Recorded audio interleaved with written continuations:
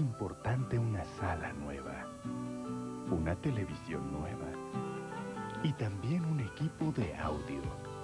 Pero lo más importante es tener con quién disfrutarlos. Ahora ya sabes por qué Salinas y Rocha renueva tu.